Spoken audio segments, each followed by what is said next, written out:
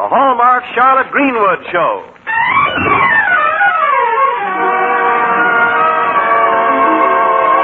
Welcome now to our show. Here's a friend you all know. Charlotte Greenwood is with us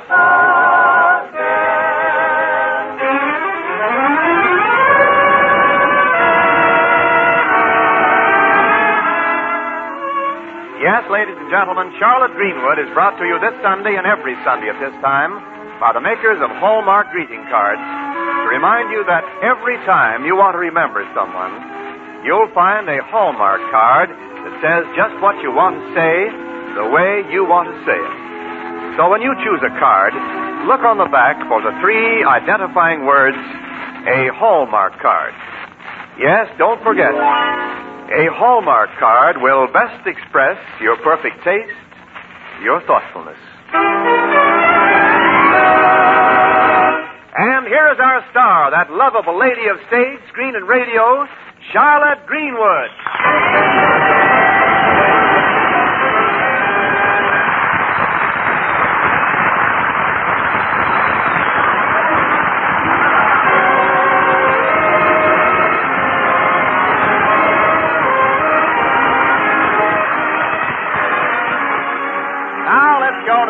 Of Lakeview and the home of the Bartons, where Charlotte's been having what might be called an elevating experience, raising the money to raise the three Barton children. But now, although Charlotte doesn't know it, Barbara Barton has a scheme to augment the family income. On this particular afternoon, we find Charlotte with Jack in the living room as Bobby bursts through the door. Oh, boy, is it king outside today. Hey, Sprout, go easy on that door, will you? Yes, Robert. Be a little more quiet, son. I'm sorry, Aunt Charlotte. I forgot. Jack's doing his arithmetic lesson. Arithmetic. That's kid stuff. This is algebra. I'm trying to find the missing quantity, X. Goodness, haven't they found that yet? They were looking for that when I went to school. Huh? I know where to find X. It comes right before Y. Oh, this is a different kind of X. Now dry up, will you? now, Jack, Robert is only trying to be helpful. Well, how can he be helpful? This problem is very intricate. You have to know algebra and geometry. What's geometry? It teaches you all the angles so you can go round in the best circles. Huh? My dog Flash goes around in circles. Flash. Well, he does. Whenever he chases his tail. One of these days he's going to meet his end. Oh, I suppose Flash could help me with this problem, too.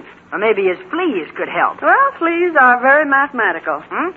They add to his annoyance, subtract from his comfort, divide his attention, and multiply like everything. I'm good at adding and subtracting, Aunt Charlotte. are you, dear? Oh, yeah? Well, let's see you do this problem. Farmer A has ten head of cows, which is twice as many as Farmer B. How many head are there? One head to each cow. You see?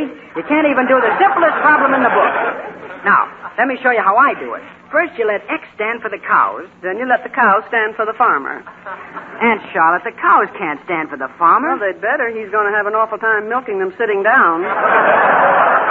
Oh, a lot of help a man gets around this place. In our school, we don't figure with cows. We use apples. Much handier, and it doesn't take any points. No, I give up. I'm going into the other room where I can concentrate. Wait, Jack. Maybe I can help you. What are you working on? Oh, you wouldn't understand it, Aunt Charlotte. What's a woman know about problems? Don't be ridiculous. If there weren't any women, there wouldn't be any problems. Oh, Aunt Charlotte, you're like all the rest of the women. When it comes to solving a real problem, you haven't got a leg to stand on. I haven't got a leg to stand on. Okay, you asked for it. Now, here's the problem. It says a spherical life buoy has an inside diameter of 36 inches.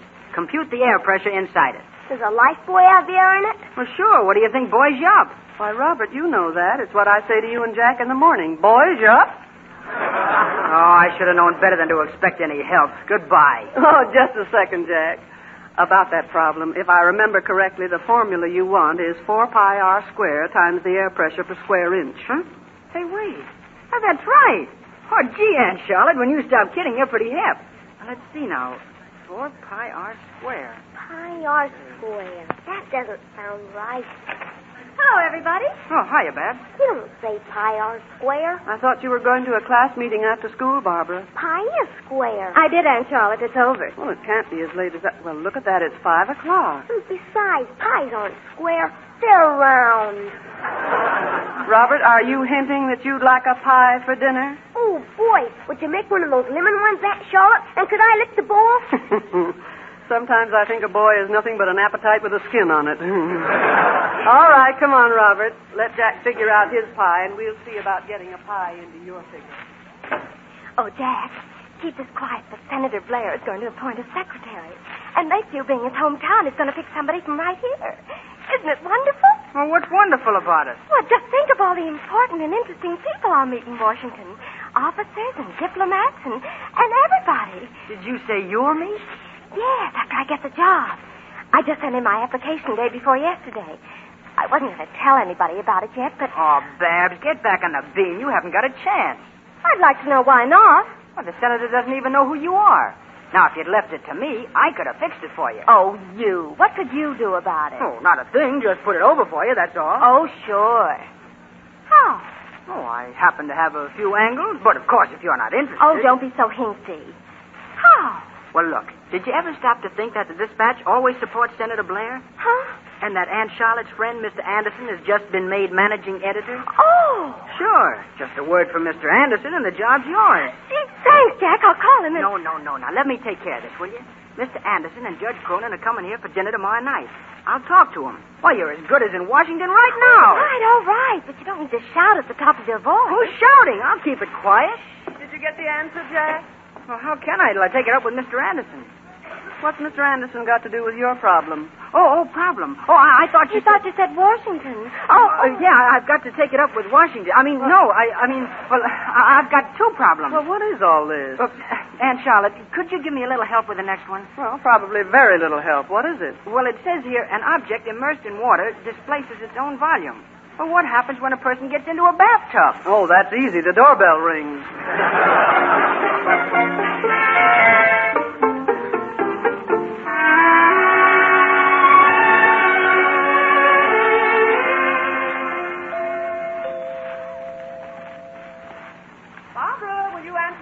That's probably Judge Cronin and Mr. Anderson. All right, Aunt Charlotte. Oh, how do you do? I came here to see Barbara Borton. I'm Barbara Barton. Oh, you are? And do you happen to know who I am? Why, why, I don't believe I do, but uh, won't you come in? My name is West. Miss West? Yes. And for your information, I've been doing Senator Blair's secretarial work here in Lakeview for the last seven years. And if you think. Barbara, if that's the judge and Mr. Anderson. Oh, I beg your pardon. I didn't know you were expecting a friend. I'm not a friend. My name is Reba West. I know my duty, and I came here to put Miss Barton in her place. My, you sound like a second lieutenant. Barbara, what is all this? Well, Aunt Charlotte, I don't know what she's talking about. You certainly do. You wrote a letter to Senator Blair, didn't you? What letter, Barbara? Well, I merely heard that Senator Blair was going to hire a secretary for his Washington office, and, and I sent in an application, that's all. That's enough, because that job is mine. I've been doing the senator's work here in Lakeview for years, and if anybody goes to Washington, it's going to be me. Well, I'm sure Barbara had no intention of trying to take your job. Just because she's she's young and attractive, that isn't going to get her anywhere. But, Miss West. And that goes for you, too. Yes, I know. It never did get me anywhere. I can picture Miss Thornton in Washington. She'd be wonderful. wonderful. Well, Some nerve. Even if I didn't want the job, I'd get it now. I'd get it for spite. oh, now, dear, why get it for spite? After all, spite never did anything for you, nor anyone else.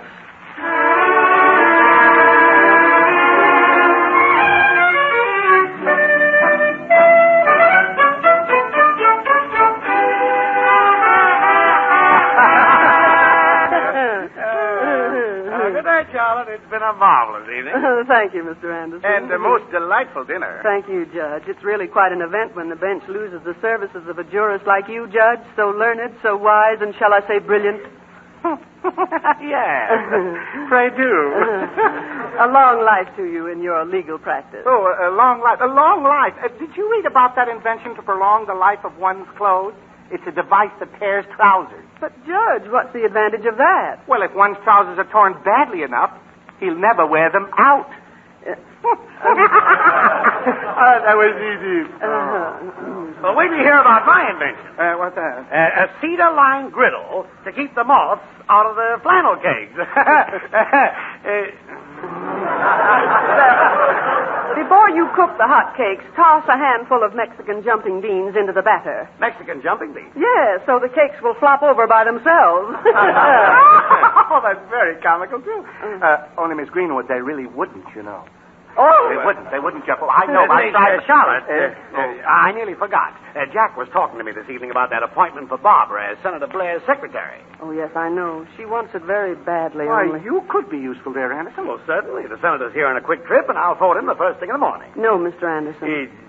No? No, I don't want Barbara to get the job. But, Miss Greenwood, this is a splendid opportunity. I realize that, but there are very good reasons why Barbara shouldn't take it. Now, Charlotte, I think you're wrong. Indeed, yes. I rarely agree with Anderson, but this time I must make an exception. Barbara should have that job. Boys, you're both good friends. Uh-huh. I have the highest respect for the judgment of both of you. Oh? Personally, I think you're both wonderful. Ah. But neither one of you has ever been an aunt. Ah. Good night, Mr. Anderson. You've always been so helpful. Uh, well, uh, uh, good night, Charlotte. And good night, Judge Cronin. You're always so sweet. well, good night, Miss Greenwood. Come back soon. Hey, Aunt Charlotte, did I fix it? Hmm? Fix what, Jack? Oh, gee whiz, didn't Mr. Anderson talk to you about that job for Barbara? Oh, that. Yes. Yes, he said he could help her. Oh, I knew he could. I told Barbara it'd be a breeze. Only I'm not letting him. Not letting him? You mean Barbara isn't going to get the job? I don't think it's the best thing. Oh, but she's got to get that job. She's told everybody she's getting it, all the kids. Barbara ought to know by now when you make a prediction, there's only one thing you can predict right. That you'll probably be wrong. Oh, but Aunt Charlotte. I'm sorry, Jack. Barbara simply doesn't deserve the job. But why not? She's smart. She's got a good personality, and well, well, she deserves it as much as anybody. No, Jack. Not nearly as much as Miss West. Are you kidding? That zombie that came here and insulted Babs? I'll admit Miss West was rather disagreeable, but we have to be fair. Sure, be fair. But how about being fair to Barbara? I am, Jack. Well, you certainly show it in a funny way, taking sides against her, letting that West character have the laugh on her. You're going to have a tough time making Babs believe you're fair. I can only do what I believe is right, and if it turns out wrong, I'll admit it in all honesty. Honesty. What good's that going to do after Barbara's lost out? Don't give me that corny stuff that honesty is the best policy. Son, honesty is the only policy, and if that's corn, let's have more of it.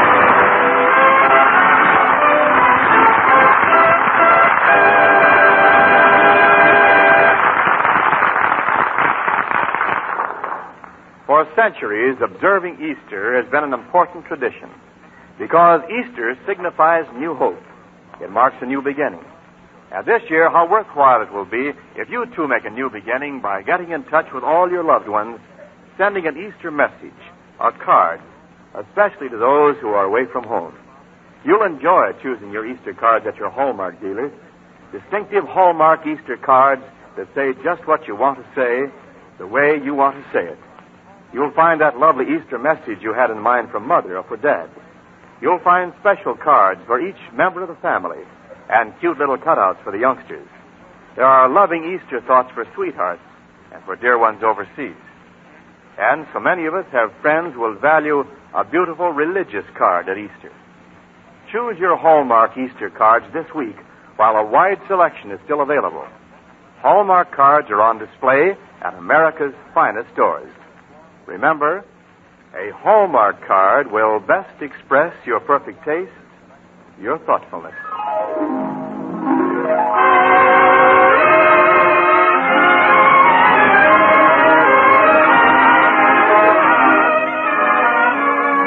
And now to resume our story.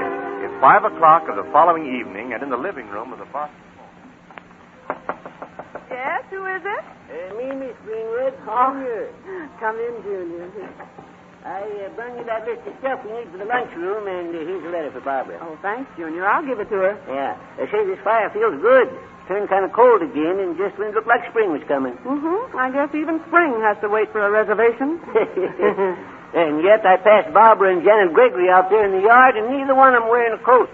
I declare, I don't see what keeps girls from freezing. Why, Junior, you're not supposed to see. oh, yeah, yeah, you carved me, Miss Greenwood. You carved me.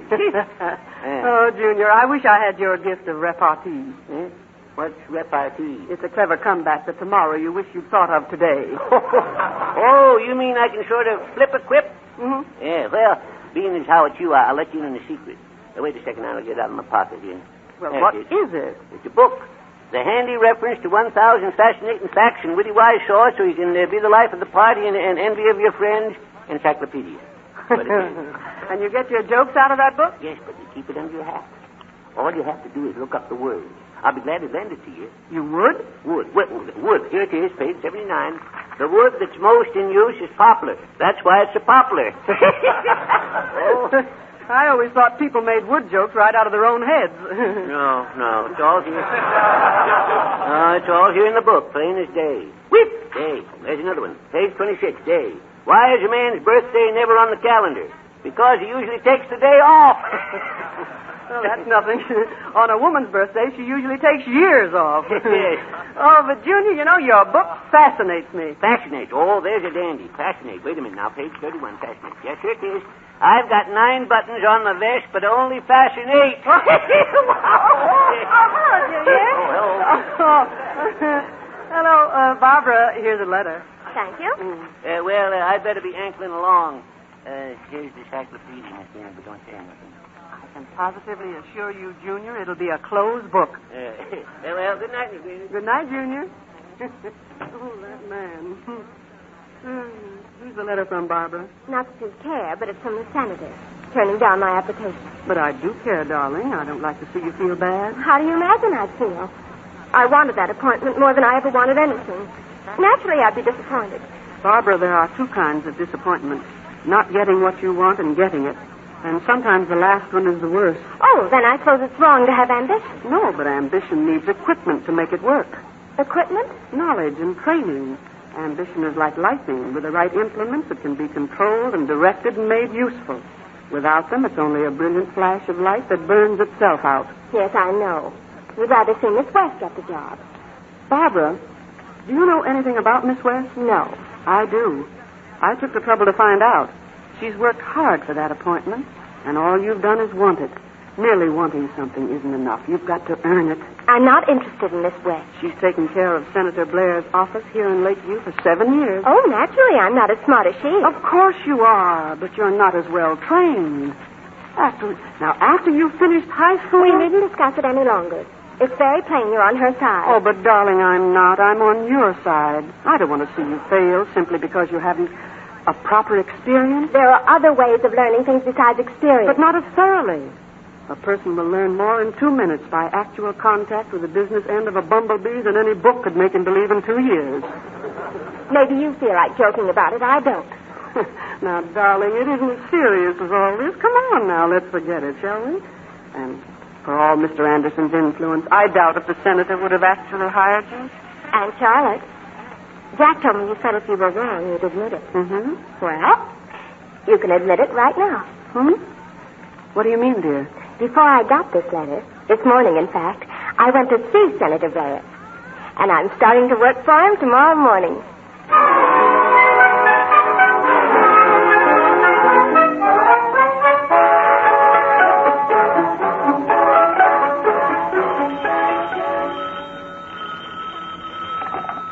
Senator Blair's office. This is his secretary, Miss Barton. The senator will be in this afternoon. I know he'll be glad to talk to you. Oh, dear. Senator Blair's office? Oh, yes, the Chamber of Commerce. I Forgot you were waiting. Uh, yes, the senator will be able to speak at your Wednesday luncheon. Hello? Oh, long distance? Who? Uh, Mr. Oliver of the Federal Reserve Bank? I'll hold on. Hello, Barbara. Well, now there's an unusual sight. A woman actually listening. I'm waiting for someone to come on the line. I'm about to have a discussion with the Federal Reserve Bank. Well, I've heard money talks, but the only thing it ever said to me is goodbye. I'm waiting for Mr. Oliver, Aunt Charlotte. I didn't expect you to drop in. Child, a woman with my figure never drops in. She slides in and folds up. How are things? Very busy. I've handled some very important matters this morning. Oh, hello? Oh, hello, Mr. Oliver. Yes, I'm sure I can help you. Oh, when does the senator return to Washington? On Friday. Oh, is that all? Goodbye. Just the same, I have handled some important business this morning. I'm sure you have, darling. Oh, good morning. Is this uh, Senator Blair's new office? That's right. We've Uh, Ben Olaf Hansen. I would like to see Senator Blair. Oh, the senator isn't in right now. Uh, what did you wish to see him about? Well, you see, last July, uh, my prize Jersey Payne ran into my Jeep. I, I beg your pardon? I say last July, my Jersey Payne ran into my Jeep. Uh? No, no, Jeep. Jeep, Jeep, by Yemeni. Aunt Charlotte, I- Mr. Hanson's telling you, dear, that last July his Jersey cow was run into by a Jeep. By Jiminy. yeah, and I would like to see Senator Blaine. but the senator can't do anything about your cow. Haven't you any insurance, Mr. Hanson? Yeah, I have fire insurance, but my he was not burned. I have cyclone insurance, but my he was not blown away. My Jersey... Yes, I know, was run into by a Jeep. I mean, Jeep. How about uh, war risk insurance? Yeah, I have... Mr. Uh, well, Hanson, Senator Blair is a very busy man. I don't think he'd have time to bother about your cow. yeah, but... Uh, the, I'm sure you understand. Uh, yeah, I understand. Good morning, Mr. Hanson. Good morning. Well, that's that. You know, don't you, Aunt Charlotte, besides talking to important people, the efficient secretary always keeps out pets. Oh, she does? now, I wonder if that's why I never get in. I can just imagine the senator bothering about some farmer's cow. Oh, you're back early, Senator. only for a moment. Oh, Senator Blair, uh, my aunt, Charlotte Greenwood. Uh, she's from Hollywood. Oh, yes, I know. Uh, I'm happy to make your acquaintance. I've heard of you very often, Mrs. Greenwood. Thank you, Senator, but you haven't heard quite correctly. It Oh. not Mrs. Greenwood, it's Miss Greenwood. Oh. well, I'm sorry. You're sorry. Senator, may I have Barbara long enough to take her to lunch? Why, I think that's going to be arranged. Uh, how did things go this morning, Miss Barton? Oh, it's been very busy, but I think you'll find that I've handled everything satisfactorily. I'm sure I will. Oh, uh, you didn't forget to send for that report on the new Lakeshore Highway. Oh, no, Senator Blair. Uh, here it is. Uh, good. Well, then, I think you deserve a lunch. Uh, uh, wait a moment. This isn't the report I wanted. Well, well, I asked for the Lakeshore Highway report. But did you specify Report 169B as I told you? Oh. This isn't correct. I want to be satisfied on the gradient and the banking. If I'd be satisfied with the highway to turn the same time I do. I'm sorry to be annoyed, Miss Greenwood, but this is very important. Senator, I was so busy, and I assumed that the Highway Commission would Your send a- job isn't to assume, it's to know. Well, all right, never mind, never mind. Go ahead and get your lunch. Well, it won't be very long, Senator. Oh, I almost forgot. There was a farmer here, a, a man named Olaf Hansen. Yeah? He wanted to see you about a cow.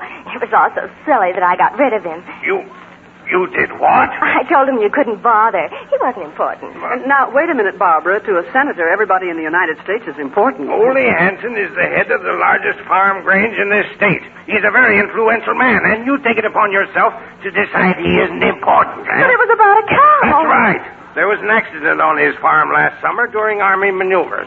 He has a claim against the government. Uh, Senator Blair, uh, Barbara simply made a mistake. That isn't so unusual. Anyone's likely to make a mistake. Exactly. That's why I need an efficient secretary to keep me from making mistakes. Oh, but I'm afraid this job hasn't worked out, Miss Barton.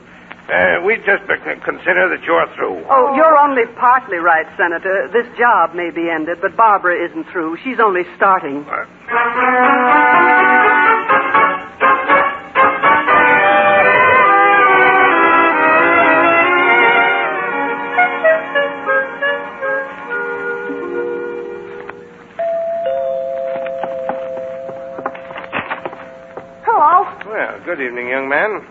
This is the Barton residence, isn't it? Yes, sir. Is Miss Greenwood in? I'm Senator Blair. Gee, are you a real senator? Well, as real as they come. From Washington? That's right. Gosh, never thought I'd see a senator. Well, But hey, why don't you wear your baseball suit? what? what? Robert! Who is it, dear? Oh, Senator Blair, come in. Oh, thank you. I think perhaps I should have asked for Miss Barton. too. Uh, Robert, run into the living room and tell Barbara that's a dear. Barbara! I rather suspect I owe you an apology, Miss Greenwood, for losing my temper this morning. Oh, that's all right. I lose mine too, but I don't worry about it. Temper's one thing you can lose and still have. Oh. Oh, good evening, Senator Oh, Blair. good evening. I uh, I came here to thank you for the way you solved Hol- uh, Hanson's difficulty. He, he's quite pleased about it. You, you mean about the yeep or uh, jeep? Yes, yes. You're reminding him that his war risk insurance took care of the whole affair. Oh, no, I didn't. That was Aunt Charlotte who thought of that. shush, shush. Lots of people have paid for war risk insurance, and they think it only covers military damage done by the enemy. But it covers damage accidentally done by our Army, too, doesn't it, Senator? You're absolutely right, Miss Greenwood. And Hanson was very happy. Oh, uh, Miss Barton, if you'd care to come back, after all, I did promise to keep you at least two weeks. Thank you, Senator, but but I I guess I'm not quite ready for that kind Well, of job. think it over, and if you change your mind, uh, I have to be running along. Friends waiting for me in the car. Uh, good night, Miss Greenwood. Good night, Uh, Senator. Miss Barton. Good night. Oh, Aunt Charlotte, I've been such a conceited little upstart. Oh, now, a little conceit never hurt anyone. And an upstart has to start up sometime. But I just don't know anything. well, darling, you're really beginning to know when you know how much you don't know. And Charlotte, Yes, Jack? how do you find the area of a parallelepipedon? now, here's where I start proving how much I don't know.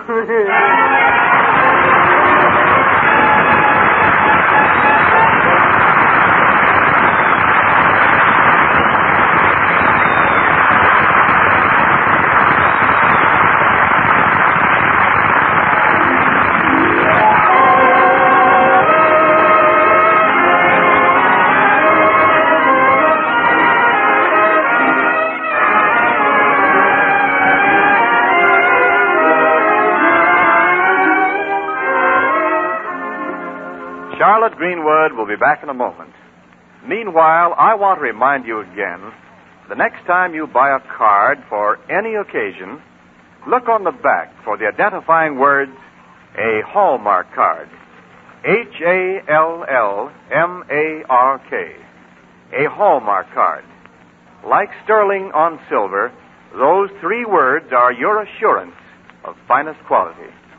They tell your friends you cared enough to send the very best. Yes, a Hallmark card will best express your perfect taste, your thoughtfulness.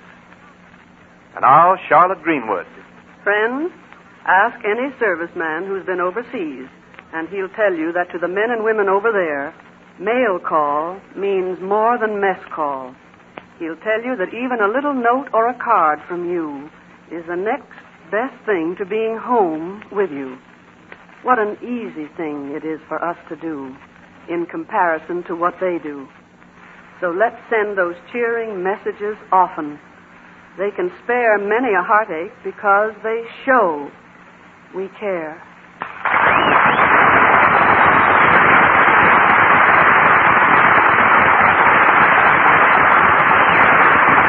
And now, until next Sunday, at the very same time, this is Charlotte Greenwood saying, So long, friends, until we meet again. So long, neighbor, till next Sunday,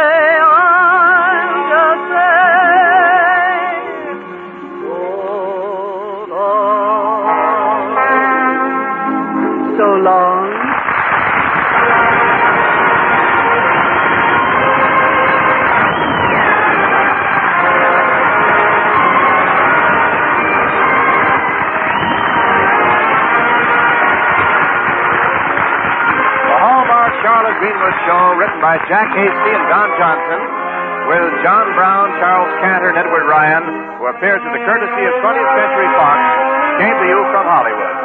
This is Wendell Niles speaking. This is the Blue Network of the American Broadcasting Company.